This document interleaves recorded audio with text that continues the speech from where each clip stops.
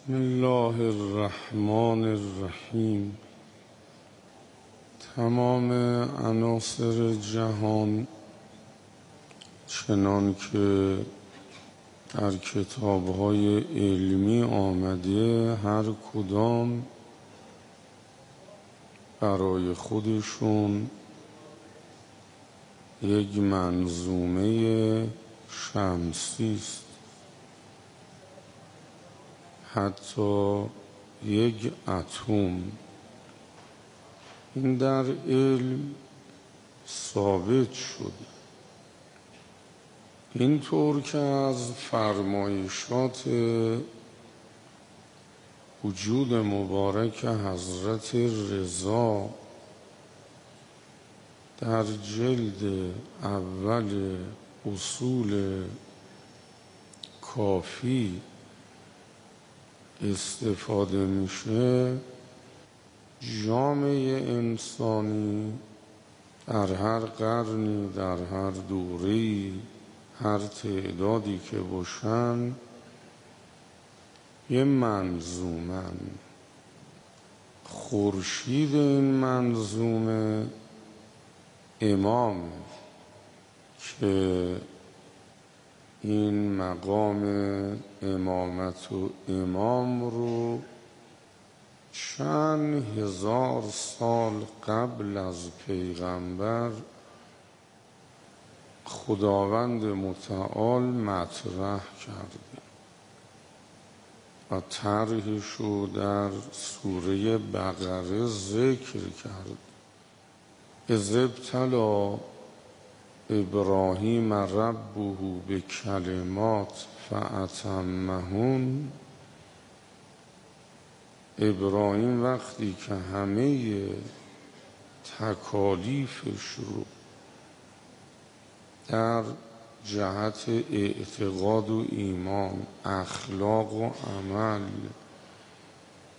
به کمال رسون بهش خطاب کردم انی جائل و کل ناسه اماما.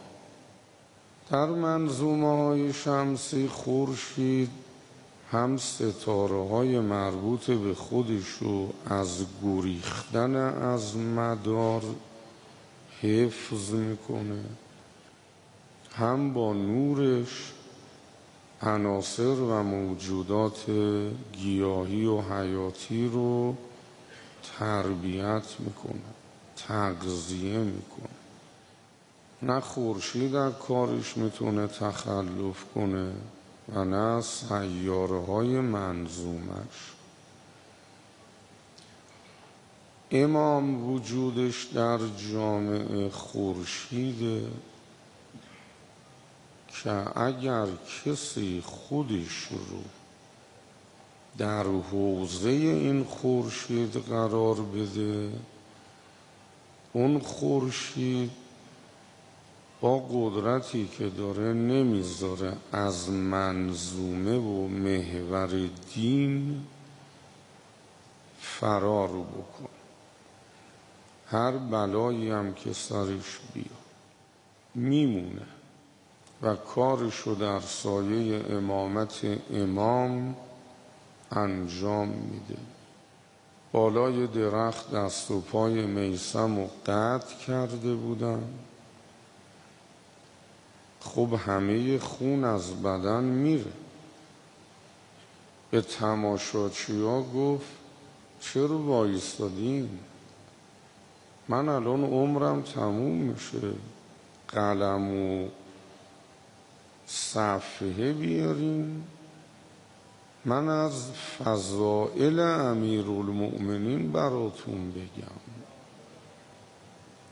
یعنی در حوزه خورشید امامت مونده چون خودشو تسلیم امامت کرده. سر دارم در حالی که دست و پاشو قطع کردن وظیفهشو داره انجام میده.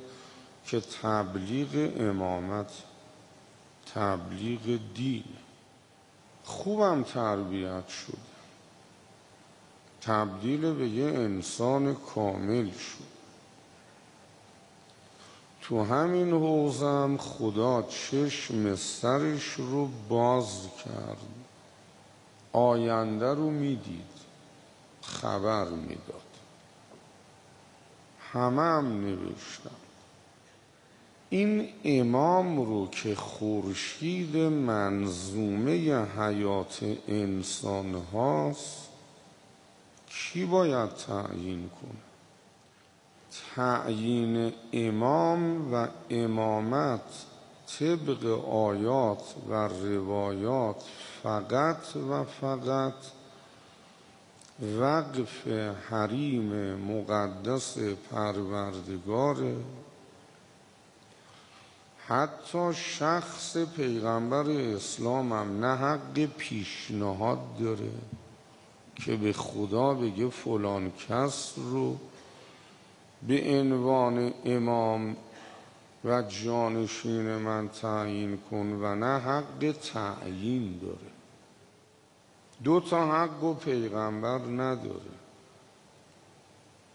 نه پیشنهاد به پروردگار که کی امام باشه بعد من و جانشین باشه و نه خودش پیش خودش حق تعیین داره. اسلام و پیغمبر و مؤمنین در اوج مشکلات بودن. مشکلات مالی اجتماعی مشکلات نفراتی پول نداشتن. نفر خیلی کم بود. جامعه هم پذیرش نداشت پیغمبر و مؤمنین. رسول خدا اسلام خدا رو به سران قبایل نیرومند عرب ارائه کرد. گفتن هر چی تو میگی قبول می‌کنی. بوتها رو دور بریز دور میریزیم. ایمان به خدا بیاریم میاریم. ایمان به نبوت تو بیاریم میاریم. نماز بخونیم می‌خونیم. روزه بگیریم می‌گیریم. اما شرط مؤمن شدن ما مسلمون شدن ما که به نفرات اضافه میشه. کمبود مال رو تأمین می‌کنیم. تو رو بر جامعه پیروز می‌کنیم.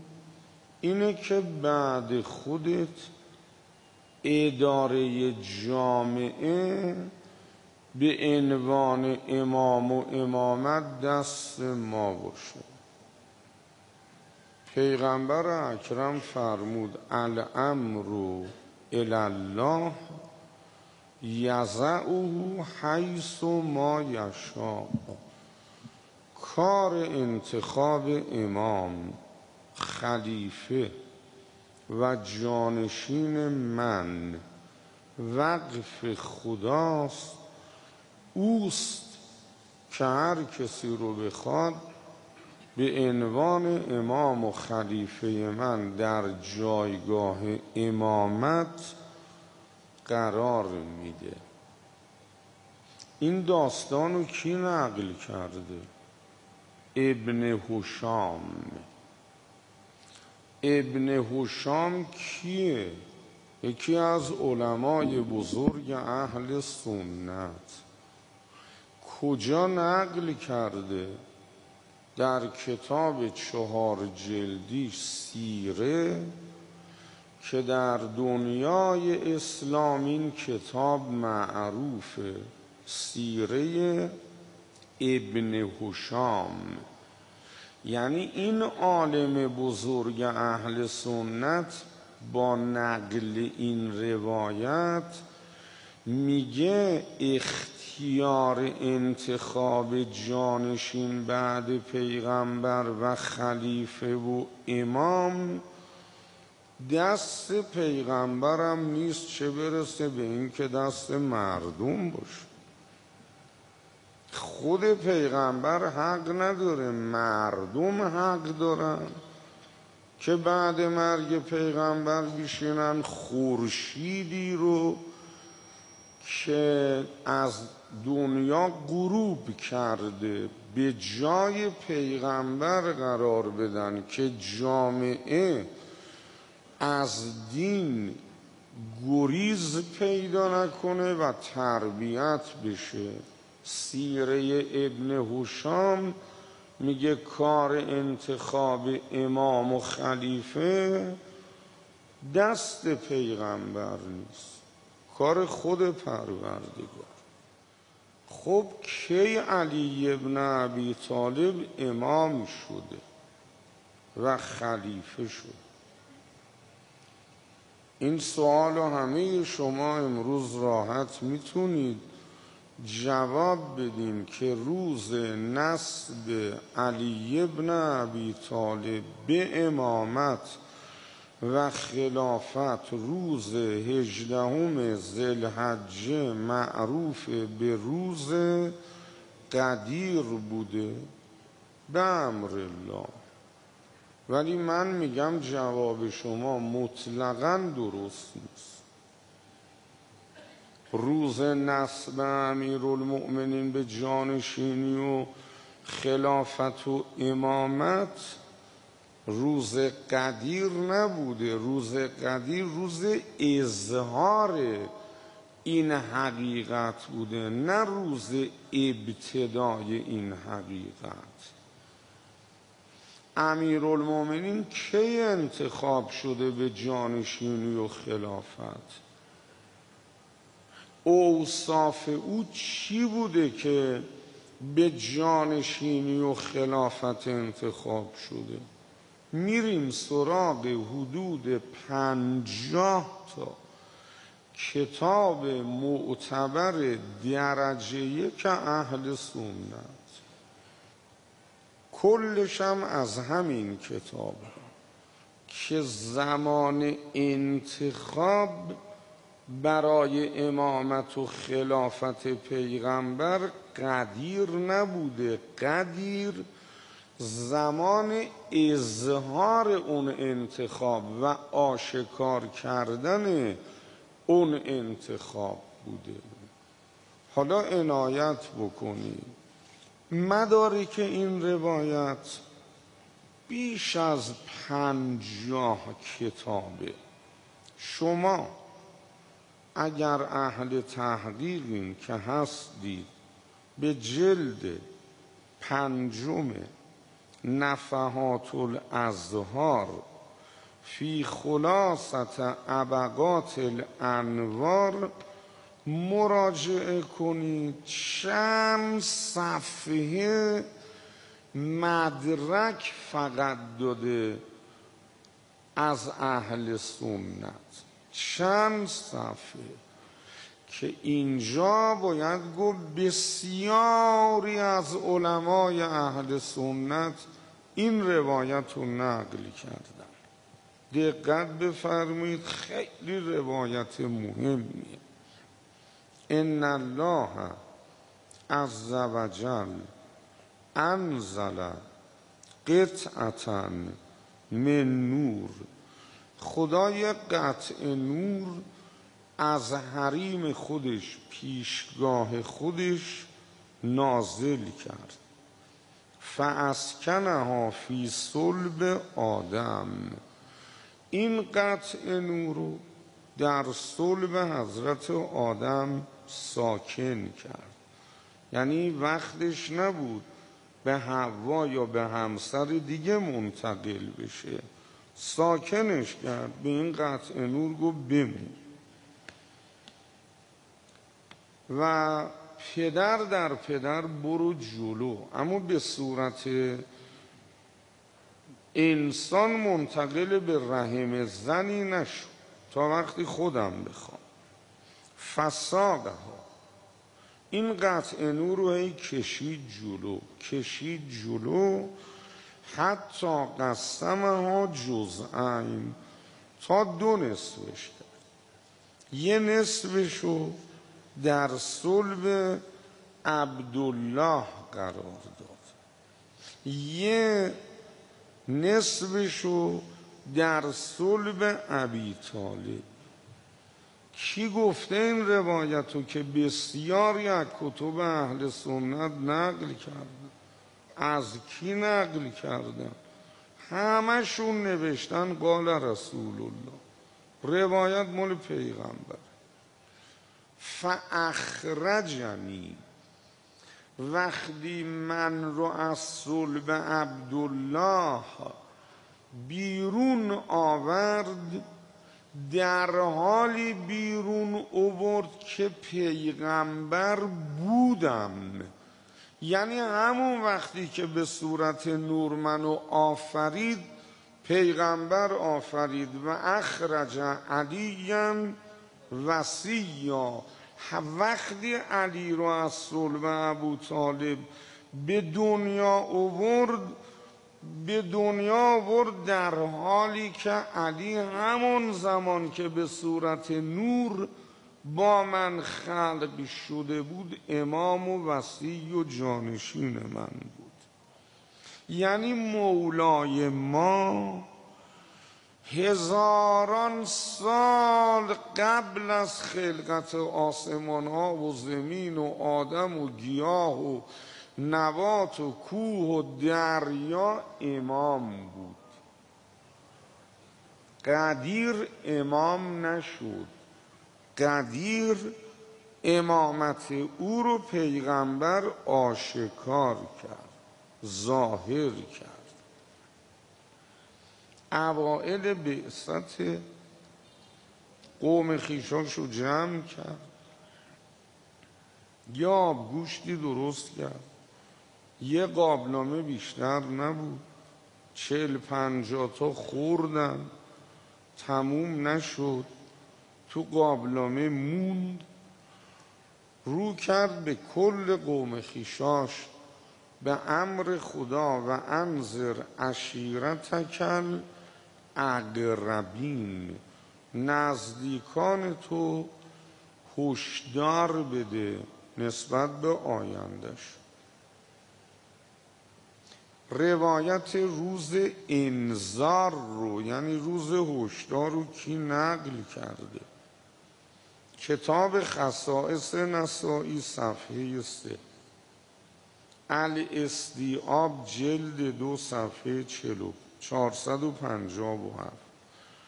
استلقابه جلد چهار صفحه هیجده حلیت الاولیا جلد یک صفحه شست و شیش تاریخ تبری جلد دو صفحه دویست و سینزه.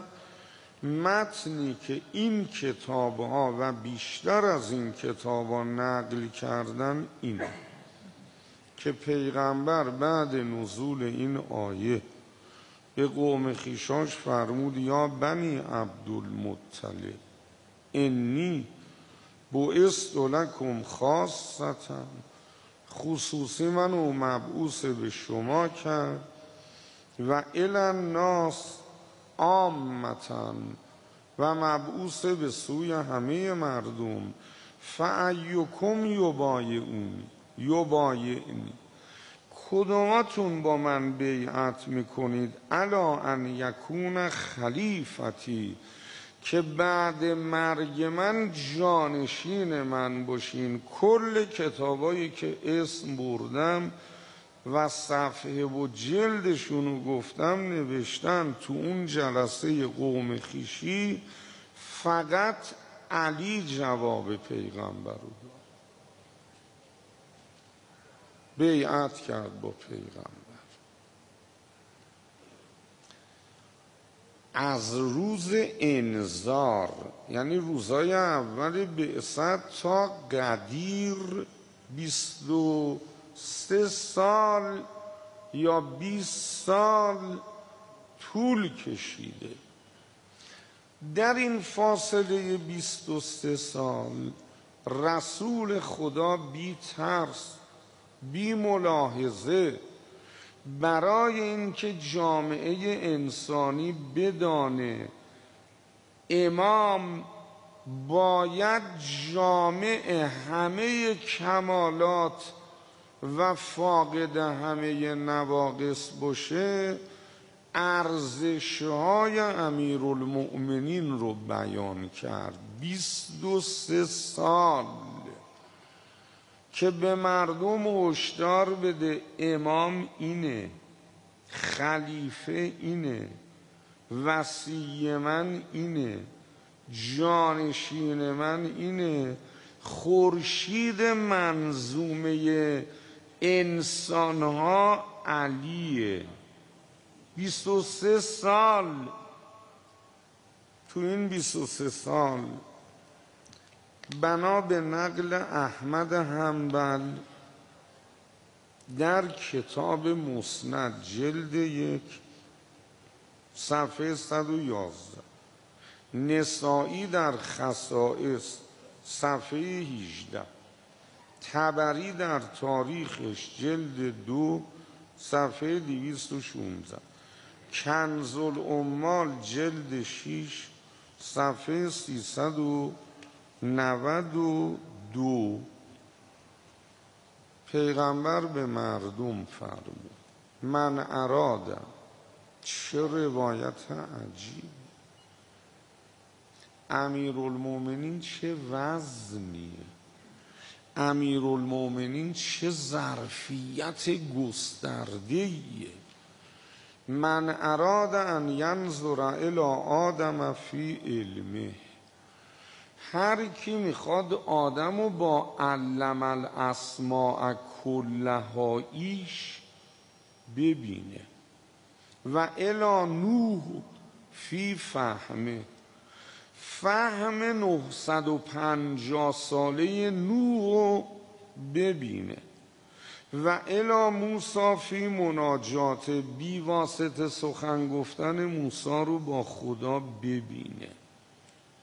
و الا ایسا فی سمته وقار و عظمت و آرامش ایسا رو ببینه. اما پایان روایت عجب قوقاییه ای خدا چه علی ساختی که همه عقلا کنارش لنگه؟ چیکار کردی؟ اگر هیچ دلیلی بر بودن تو غیر علی نبود برای اولین و آخرین بس بود. که از هر کی بپرسن این که عالم خدا داره به چه دلیل؟ فقط بگن علی دلیل بر بودن خداست. هر کی می‌خواد این انبیا رو با این خصوصیتاشون ببینه. و الا محمد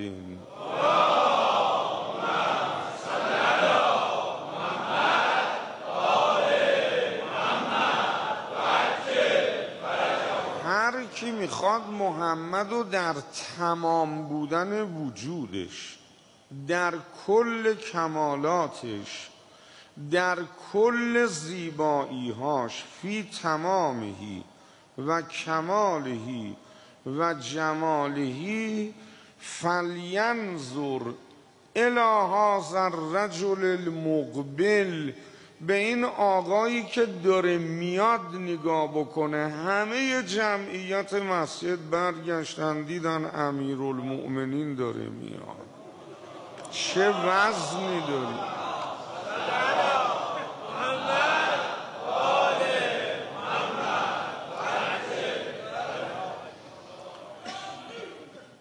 هستی تو که خدا همه انبیا رو با خصوصیاتشون در تو جا داده. چقدر وجودت گسترده است. کیستی؟ یا به قول جلال الدین راز بکشا ای علی مرتضا ما که نفهمیدیم تو کی هستی اقلا خودت خودتو به ما معرفی کن. راز بکشا. ای علی مرتضا ای پس از سوء القضا حسن القضا. صحیح مسلم. مسند احمد ابن حنبل. ابو داود.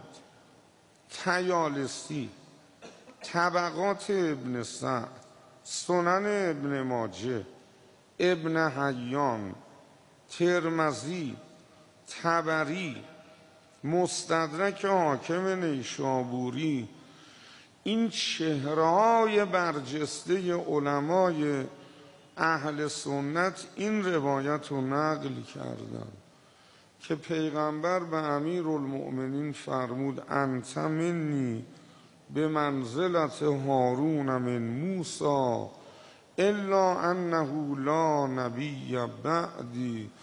تو برای من به منزله هارون برای موسا میمونی. همین جور که خدا چل شب موسا رو دعوت کرد کوه تور به هارون گفت فخلفنی. تو جانشین منی در میان این چند هزار بنی اسرائیل تو هم در امت اسلام جانشین منی. در فرصت دیگه همین عالمانی که روایت منزله رو نقل کردن نقل کردن. فرمود انا مدینت العلم. شهر علم در این عالم منم همه علم پیش همه علم پخش. ولی همه علم و خدا به پیغمبر داده بود. و علیون بابها. خب 23 سال گفت و گفت و معرفی کرد تا روز قدیر. بزرگترین علمای اهل سنت محمد ابن اسحاق عبدالرزاق شافعی احمد حنبل بخاری ترمزی ابن ماجه نسائی تبری ابن حیان دار قطنی حاکم نیشابوری بیهقی خطیب بغدادی زمخشری ابن اساکر همه یه جور نقل کردن. روز قدیر رو کرد به مردم. ایوه الناس. من اولا الناس بالمؤمنین من انفسهم. کی از همه به مردم مؤمن از جانشون شایسته تره گفتن خدا و پیغمبر بهتر می‌دونه. فرمود انا ان الله هم مولای خدا همه کاره من. مولای مولا می‌دونید یعنی چیه در برابرش عبده ان الله هم مولای و انا مولا المؤمنین. من از جانب خدا همه کاره مردم مؤمنم و انا اولا بهم من انفسهم. فمن کنت مولا فعلیون مولا سه بار تمام این کتابایی که نامشو شنیدید نوشتن پیغمبر تکرار کرد. سه بار فریاد کشید. فمن کنت مولا فعلی مولا. خب کسی که علی رو به امامت و مولویت خودش انتخاب بکنه پیغمبر فرمود اللهم وال من والا. خدایا عاشق باش. به اونایی که عاشق علی هم. حرفم تمام.